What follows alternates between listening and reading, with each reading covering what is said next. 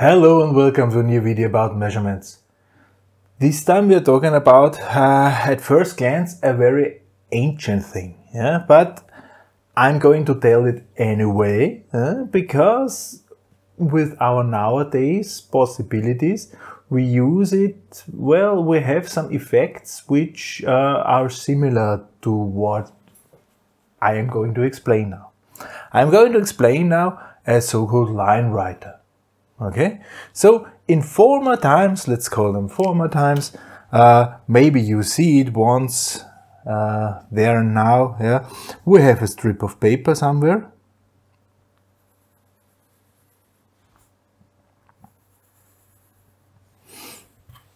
And at this strip of paper, there is a line drawn. Hmm, paper strip, there is a line drawn of some measured value. Here we have a line and this line is showing somehow the history of this value. Huh? So here we can read what is at a certain time, here what value we have got later in time, here what value we have got later in time and so on. So we have recorded, we have recorded the history. Uh, we've recorded the history of a signal and it's a stripe of paper and this paper is moving forward with a certain speed uh, and somewhere I have a pen, a pointer pen which is going up and down and putting this line to the paper and then I see the history. I can record this. This is a recording device, right? So I'll try to show it somewhere. Yeah, so here is the paper.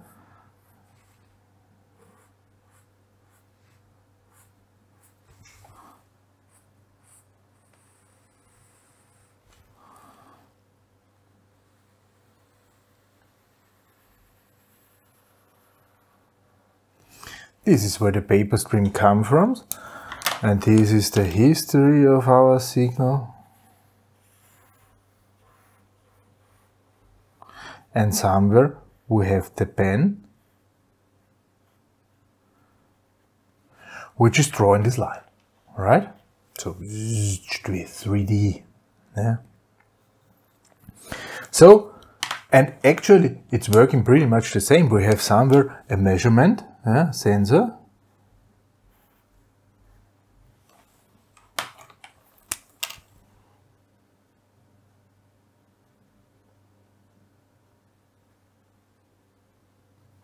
sensor. Then we have somewhere our amplifier, measurement amplifier.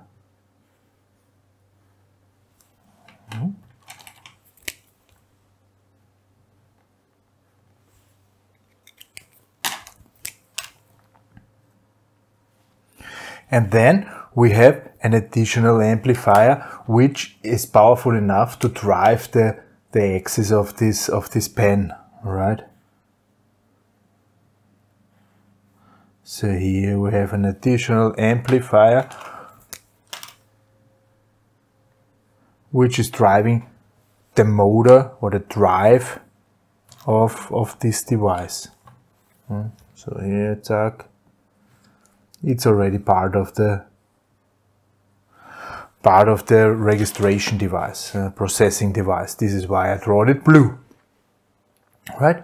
And this this paper is moving in this direction forward, so we will draw this line, yeah, and we have here some certain V, yeah, this can be very small, yeah, and maximum was around 7 meters per second, so well, well, this is already pretty much, so the faster I'm moving, yeah, the more dynamic things I can record with a reasonable resolution.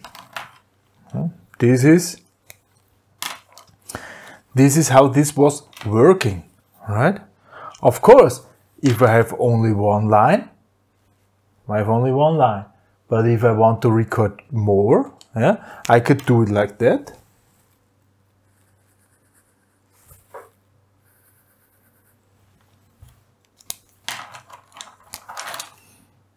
I'm dividing my paper strip in two different areas.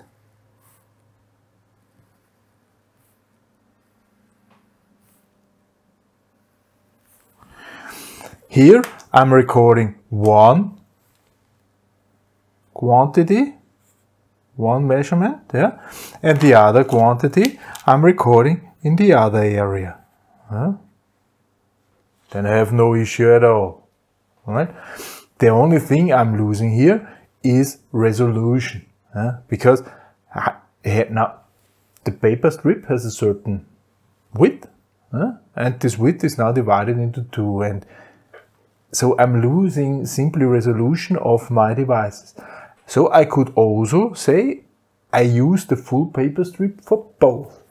Okay, so here I have a second signal and this is now recorded like over the other signal like it would be there. Yeah, so here we have this and here I have an issue because of course I cannot do both both bands at the same location, so I have to move this one band yeah, because they maybe maybe cross each other. Yeah?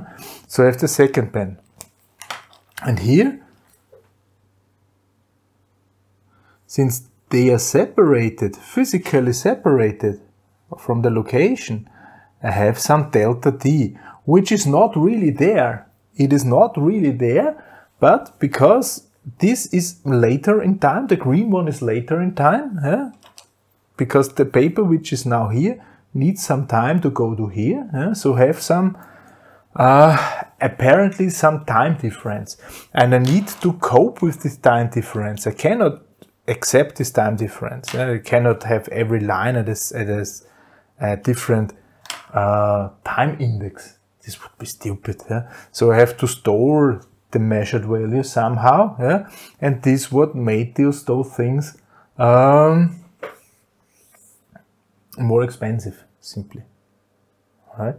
So this is why some of the devices only supported these type, yeah, because here I have no issue. Here I can drive my pen at the same position; they will never cross each other.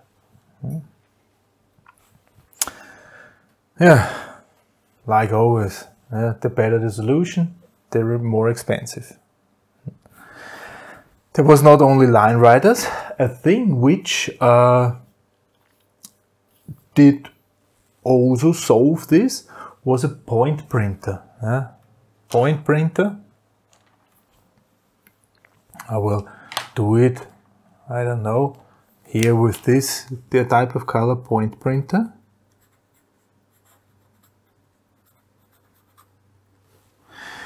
This point printer is not really drawing a line. It only makes an indication at certain point in times, uh, periodic points in times, make, make some point, yeah, indicate only at certain point in times. Yeah? So we could use here some symbol and maybe here another symbol. Here it printed an O, here it printed an X, for instance. Yeah? And then we have two symbol chains of symbols. Yeah? And we, I have, I don't have this yeah? because it make an and then it drives to the other one, it drives to this one, drives to this one, and make always those. This is a point printer. It solves this issue as well. However, eh, what is in between the points here, I cannot imagine if eh, I would I would assume it's going like that, but here in reality I made this little dent. Eh? The more measurements I have, eh, the, the more accurate it is, of course. Eh? But I might be missing something if I only look at certain times. This is a point printer. And then we have some alarm printer. Yeah?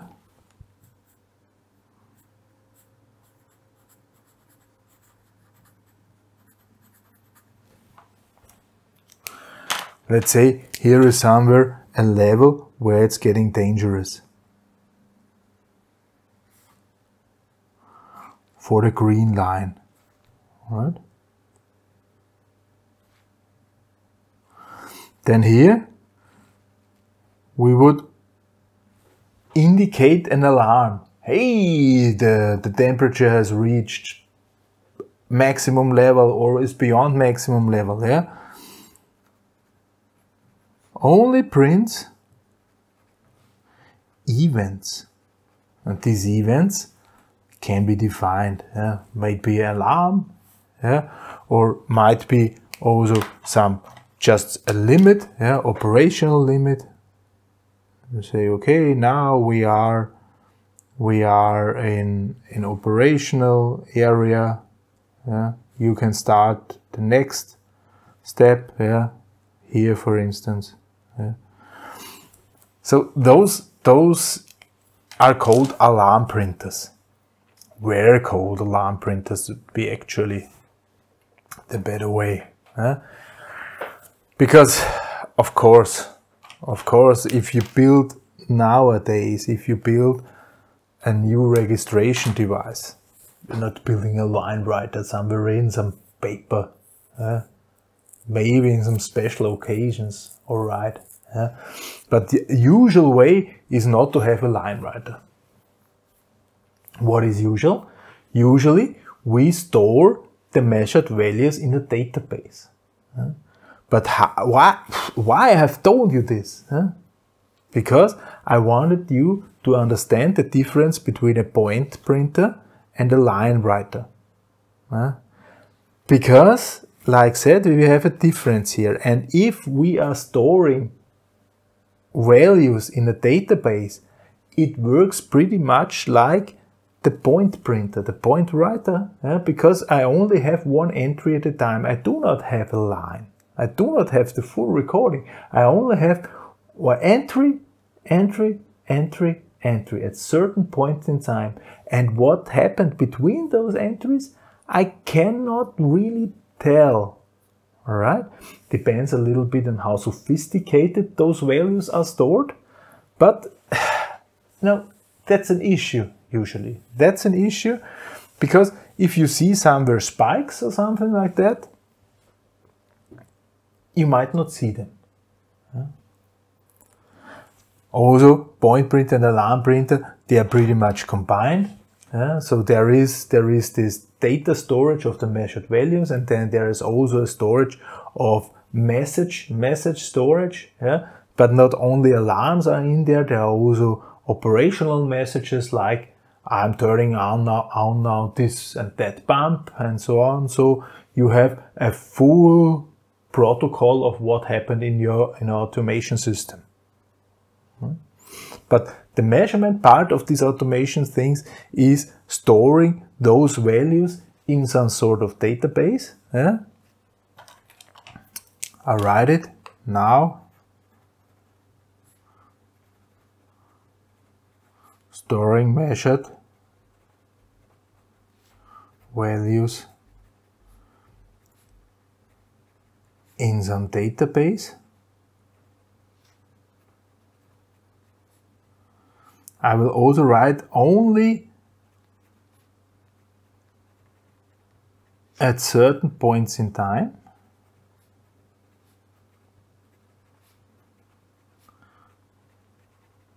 The value is stored.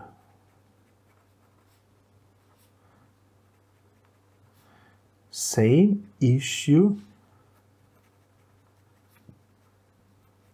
then with point printer. Yeah, that we might have these. Yeah. Make it right here. Make a reference.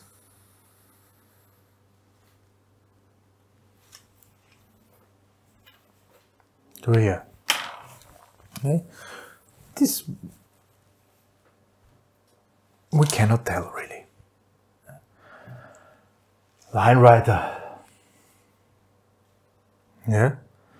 So now I think you understand why I told you what a line writer is, how it worked to to tell you the difference to a point printer. And you know, if we measure very often and store very often, then it's usually okay. Huh? However, this needs data, data storage space simply. Huh? If I'm storing too much values and it's not really changing, it would be stupid.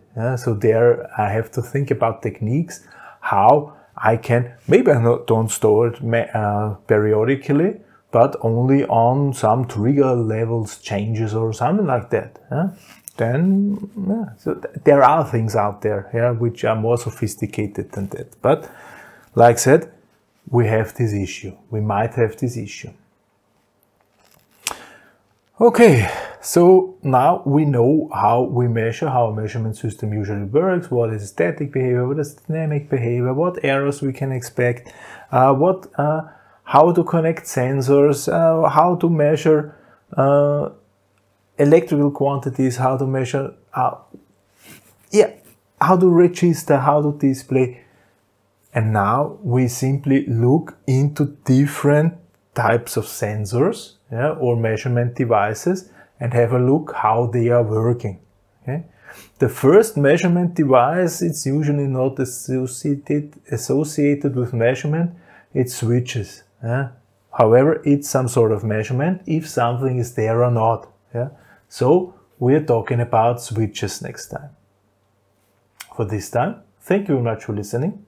Goodbye.